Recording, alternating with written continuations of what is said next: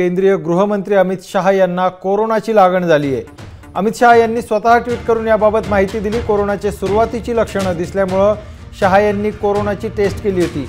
या कोरोना टेस्टमध्ये अमित शहा यांचा रिपोर्ट पॉझिटिव्ह आला आहे अमित शहा यांची प्रकृती सध्या ठीक आहे.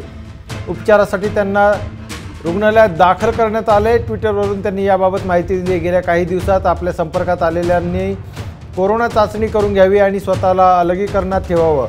असा सल्ला अमित शहा यांनी दिला आहे तर कोरोना टेस्टमध्ये अमित शहा यांचा रिपोर्ट पॉझिटिव्ह आला आहे